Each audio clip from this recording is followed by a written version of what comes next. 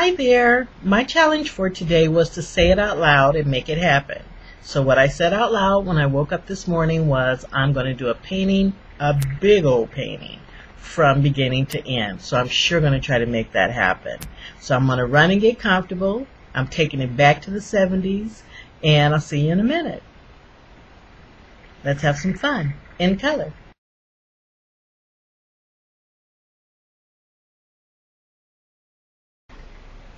Told you I was taking it back to the 70s. You know I love color. So the first thing I'm going to do is I'm going to completely cover the area around my easel because I just got the carpet cleaned. And I'm going to get me a bucket of water and I'm going to prime my canvas with white gesso so that my paint will adhere to it nicely and I won't be using up so much paint because it won't be soaking into the canvas.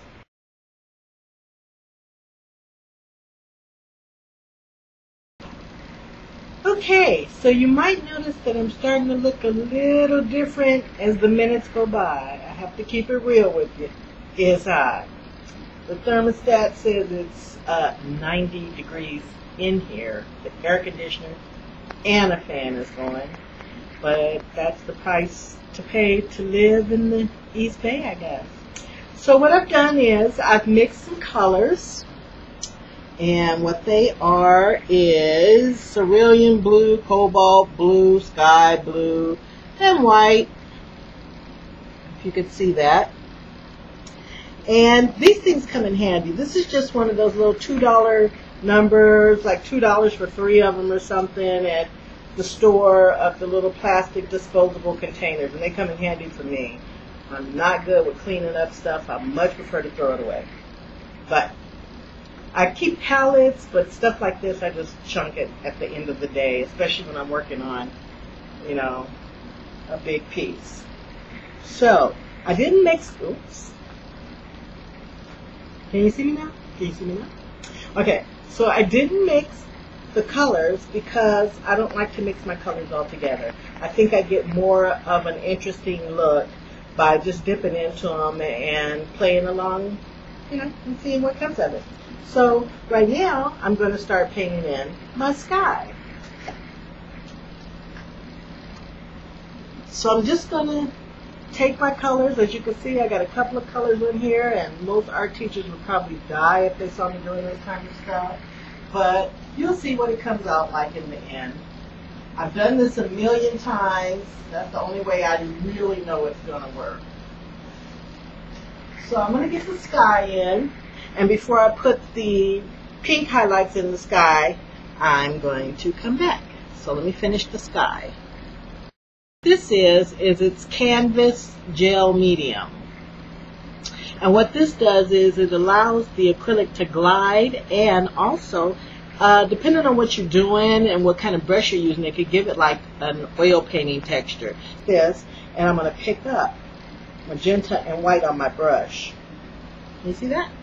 So now I got the three things on my brush. So now I'm just going to go across certain areas of the sky to give it that pink tinge that we like to see in the sky sometimes. So now that I've done that, I'm going to put this to the side and I'm going to pick up the brush I was using the blues on because it's a little dried out now and I'm going to just smooth the edges out. So there's my sky. I'm going to let that set for a minute and then I'm going to start on the next phase of this painting. Okay, so next I have a new color palette and what I have here is silver gray, I have violet, raw umber, ochre, white, and black, Mars black. And what I've done is I've painted the bottom portion, the part that I didn't cover with the blue, in gold. And I did that because I'm a person that likes background and texture and layers and layers. Um, as you can probably tell, I just like color. So what I'm going to do is I'm going to cut in some rocks now because um, I decided nature. Maybe a diva later, but nature. So sky, tree, water, rocks. That's what I'm working with here. So I'm going to cut in some rocks. And I got all these different colors because no two rocks are ever alike. And so I'm just going to play with them and make them all different shades. And usually, once I get one in, I'll just go on and work with that. And then top it off later or tone it down or whatever.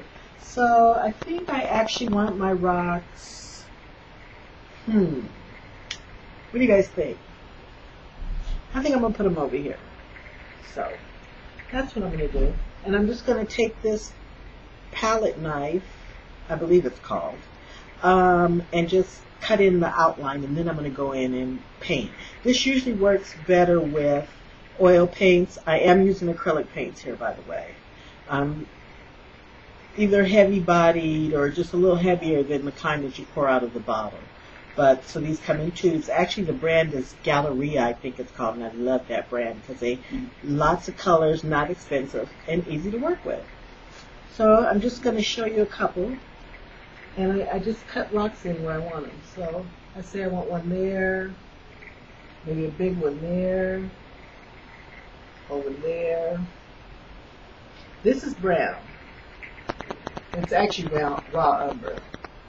So, and this is what I what I do to get an idea of what I want to do with the rock. So we're gonna get up because we're probably gonna situate our diva up on some rocks. I'm using a fat brush.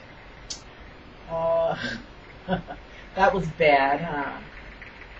Well, it's a one inch brush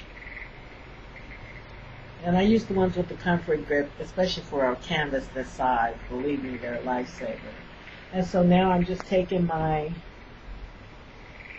brush and I'm going to start with it just a little dry. That's how I get a lot of the texture in too. And then I'll just start mixing the colors that make me comfortable and start filling in spots. And there's my rocks.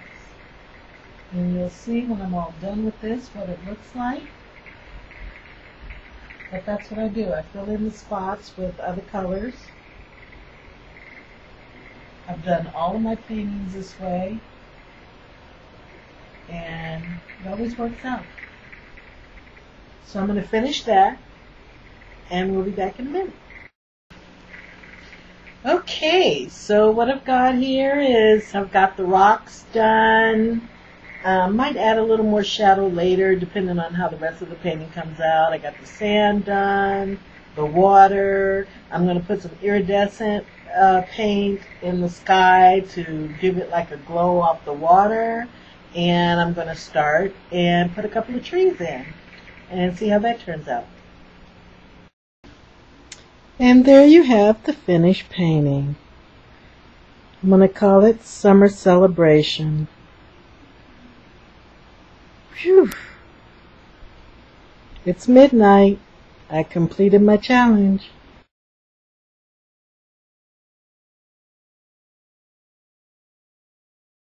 Well, it's a little after midnight and I finished the challenge.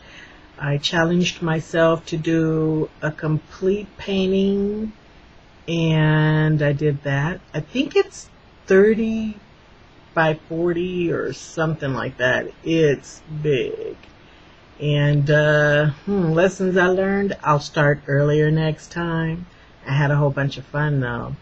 And um, I'm going to put a list of all the colors I used on here. And thanks for playing along. It was a lot of fun.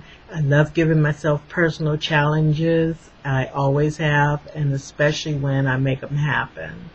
And so this one did happen. It took me a day, and not even really a day because I kind of goofed off a little bit today, and then I ran out of white, titanium white paint, and I had to run out and get some paint and that kind of stuff, and then got sidetracked while I was out there, of course. So not really a full day, but it took a while. So, um, I hope you like it. And uh, again, if you like the video, please comment and or rate it. I'd greatly appreciate it. And thanks for viewing. And as always, thanks for playing along. Happy journey and dream in color. Peace.